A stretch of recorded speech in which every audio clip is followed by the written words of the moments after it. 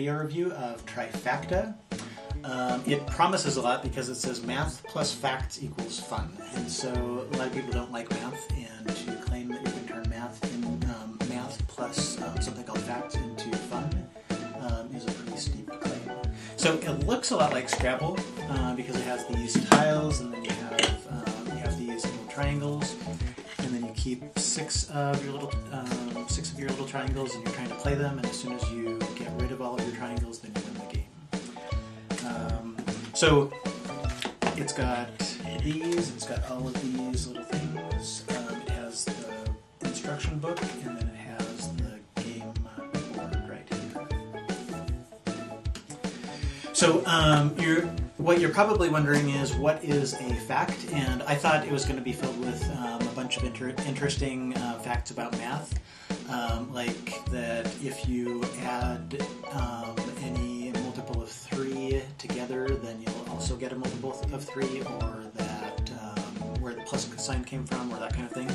But it actually has no facts at all about math. I scanned through this whole rule book, and as you, can see, just instructions, no um, facts. What it's calling a fact is this thing right here. And as you can see, I've, I took these little cards and put um, put them in. Um, this is what it's called. Um, this is what it calls a fact. And on here, um, on here, it has three numbers that sum up um, sum up together. And so there are actually four calculations that can be done on this. One plus seven equals eight. 7 plus 1 equals 8, 8 minus 7 equals 1, and 1 minus 8 equals 7. And so that, um, that whole sequence of, of four different calculations that can be done from three numbers that add up together, that is what they call a fact. And so if I were a kid, um, especially a kid that likes facts and trivia, and I found out that, this was a fact, I would be kind of disappointed. So as far as gameplay, oh, let me, um, another thing. Um, these are really paper thin, and you can see how they're really easily bent. And then um, see how they look like this, and you can probably barely even see them uh, because they're so paper thin like that. So the gameplay, um, the gameplay isn't all that well thought out.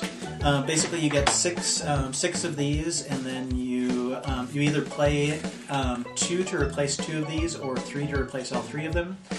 And then as soon as you're all the way done um, getting rid of your tiles, then you um, then you win. It's kind of like Uno. As soon as you get rid of all your tiles, then you win. And then if you can't play, then you draw another one.